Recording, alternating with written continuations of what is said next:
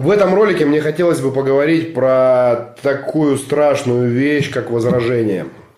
Но это то, с чем, наверное, сталкивался каждый из нас. И возражение такая интересная достаточно вещь. А, я пришел к такому выводу, что если этих возражений нет в тебе, ну то есть когда ты конкретно эти возражения не разделяешь, ты сам совсем с этим разобрался, то тогда они для тебя проблемой не являются. Вот эти возражения, потому что все возражения, они достаточно такие стандартные.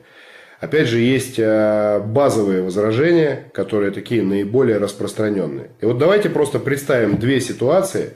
То есть, одна ситуация – это когда к нам навстречу пришел человек, который нам начинает возражать на встрече. Вот что он может сказать такого нового, мне интересно, что никто еще не слышал.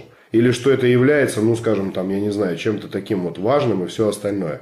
В целом, э, стандартные возражения какие? Это сетевой. Ну, самое такое достаточно распространенное.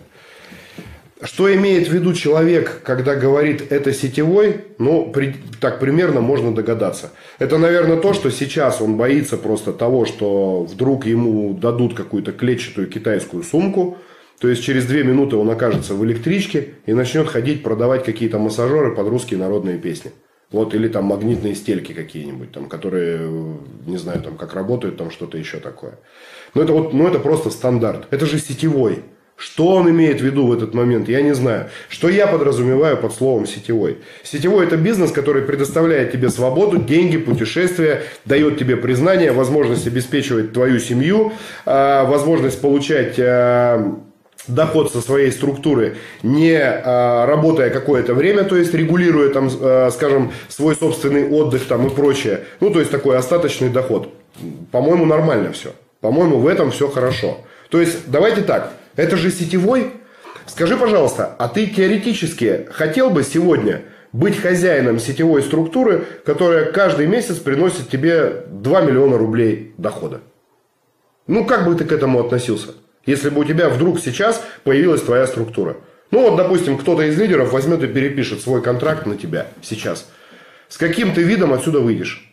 Ну, ты будешь орать просто на каждом углу, я сетевик вообще, и нет мне никакого, нет никакого спаса от меня просто. Я супер сетевик, там я супер сила и все остальное. Просто вот это, это сетевой, но это настолько уже не актуально. А, мы живем в 21 веке. Все то, что называлось сетевым в 20-м, но оно давным-давно уже стало неактуальным. Это все понимают прекрасно. Кроме тех компаний, которые работают еще по старым схемам. Они уже давным-давно перешли на потребительское такое существование, то есть и есть группы людей, которые просто потребляют продукт каких-то производителей. Никто там не зарабатывает деньги и все. Ну вот этот там формат 20 века. И вот это вот это сетевой, то есть что он имеет в виду, непонятно. Но ему надо объяснить, что такое настоящий сетевой, и, возможно, вот это возражение просто снимется. Сразу же, автоматически.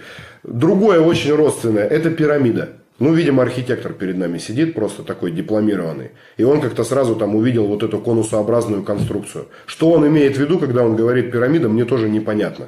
То есть то, что начинается все с одного, то есть и дальше продолжается, ну это нормально. Любая организация выглядит примерно так. Если он имеет в виду финансовую пирамиду, где сейчас с него начнут там требовать какие-то взносы, там какие-то сертификаты ему начнут давать, начнут его там просто разводить на деньги, отжимать, то есть потом он там будет 6 дней в неделю ходить на семинары, где ему будут промывать мозги. Но надо ему просто спокойно объяснить, что это не финансовая пирамида, это нормальный бизнес – и мы выбрали именно этот путь, потому что он на сегодняшний день является очень перспективным. То есть сетевое продвижение продукта на сегодняшний день – это то, что нам нужно, особенно в это нелегкое экономическое время для нашей страны и не только для нашей страны. Смотрите, в каждой стране, в каждом городе любой человек хотел бы зарабатывать больше. Правильно? Правильно. Мы, собственно, это и гарантируем. При каких-то нехитрых действиях человек выходит на доход.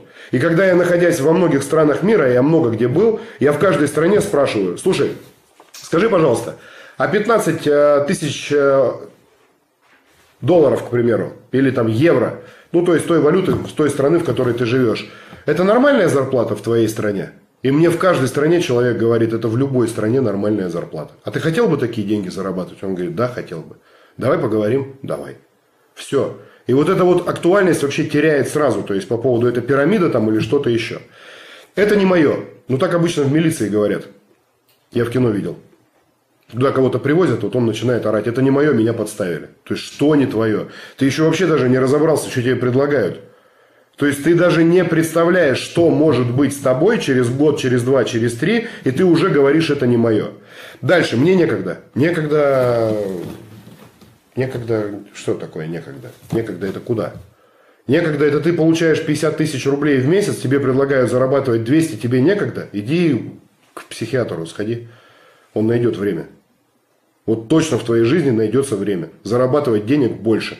Потому что на сегодняшний день твой КПД, твой ресурс, он может быть использован в нашем бизнесе, и ты можешь зарабатывать вообще нормальные, вменяемые деньги. И ты потом еще спасибо скажешь за ту встречу, которая там сегодня состоялась. И вот это вот, это не мое, там, я, мне некогда, там, я не знаю. Это, знаете, это такой, э, такие возражения, которые относятся ну, к страхам. Потому что, как правило, когда человек подобные вещи говорит, ну, надо просто понаблюдать за его реакцией. То есть, наверняка, то есть, там какая-то мимика подскажет, что он просто перепуган. Там губы дрожать начинают, руки трястись, то есть, он быстрее хочет уйти. Просто страхи. И вот если в этот момент мы не разделяем его страхи, то все хорошо. Если сам новичок, который приглашает человека, точно так же думает, вот это проблема. Когда ему говорят там, это сетевой, и он думает, блин, это же сетевой, надо как-то отмазываться. Нет, это франшиза, нет, это мультифранчайзинг, нет, это не такой сетевой, который тот сетевой, это не тот, он сразу оправдывается. То есть это абсолютно неправильный ход. Если ты не разделяешь эти возражения, тебе с ними работать достаточно легко. Или, например, там, знаете, бывает такое, нет, у меня нет людей. Будут. У меня тоже не было людей. У любого из нас не было людей. Никто сюда не пришел с готовой структурой. Ни один человек не пришел сюда сразу с толпой в 500 человек и подписался. То есть каждый искал своих людей. И у каждого был барьер, кого подписывать. Это все абсолютно нормально. Это даже не является возражением. Это никому не надо, да ладно. Вот прям никому. Тут никому, никому это не надо.